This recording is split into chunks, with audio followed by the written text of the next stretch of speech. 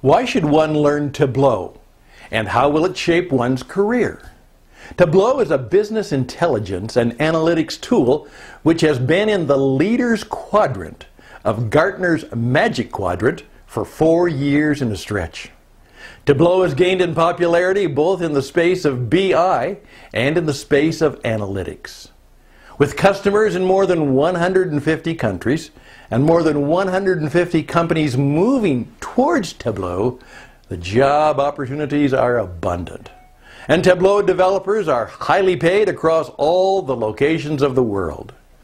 ExcelR will help you establish your career in Tableau with real world live project examples. Now let's get started on the journey with Tableau.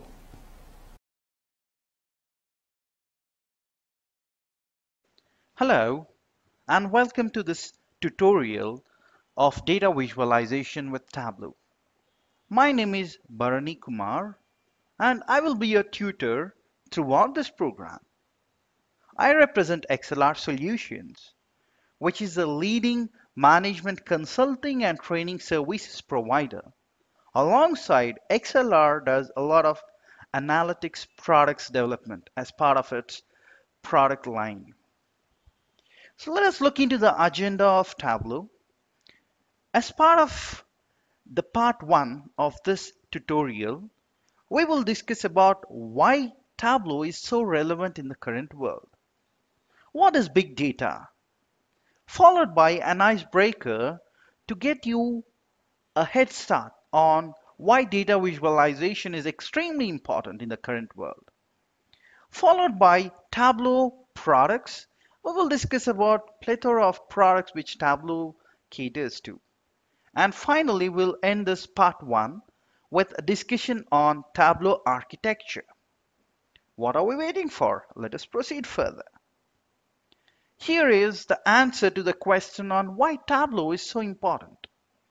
By the way, Tableau is a data visualization tool which is not just into business intelligence but also into analytics platforms. So do not mistake Tableau to only business intelligence tool. It is extremely powerful when it comes to analytics capabilities. Gartner, which is a well-known research organization, publishes something called as Gartner's Magic Quadrant once in every year. And in the year 2013, when Gartner has published this Magic Quadrant, it so happened that Tableau was in the Leaders Quadrant. And this is the number one quadrant which every company craves to be in. Tableau is competing alongside with Qlik Technologies, with Oracle, SAS, IBM, Microsoft, and the giants. When it comes to ability to execute, Tableau is standing there, next only to Microsoft. Now let us see what happened in the year 2014 when people have published this article. Here we go. In the year 2014, when Gartner has published its Magic Quadrant, Tableau held on to the leaders quadrant yet again and this time, it was leading the race when it comes to ability to execute. Sustaining the position is extremely important, which Tableau knows better than any other, any other service provider.